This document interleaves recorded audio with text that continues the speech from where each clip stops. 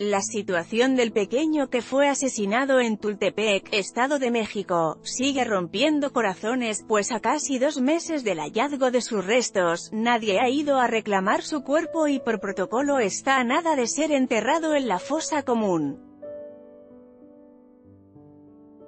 El menor tenía entre uno y dos años y fue encontrado muerto a las afueras de una obra negra en Avenida Toluca dentro de Santiago Teyahualco, Tultepec, a mediados del mes de octubre.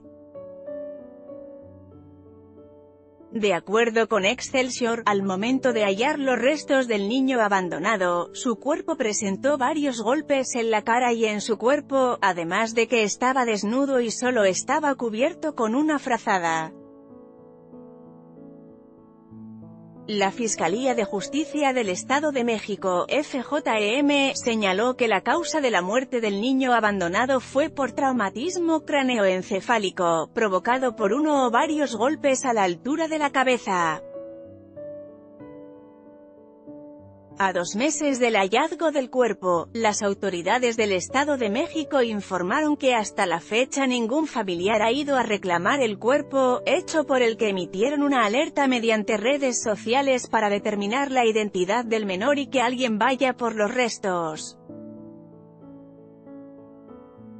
Al no contar con detalles, la FJM ha recurrido al retrato hablado para que alguna persona pueda identificar los restos del niño abandonado y reciba sepultura.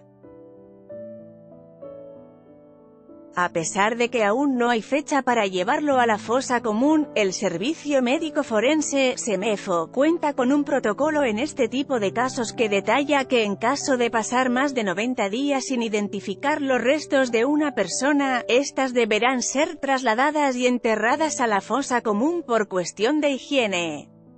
Con información de Excelsior, a fondo Edomex y la policíaca fotos de Twitter anímate a comentar.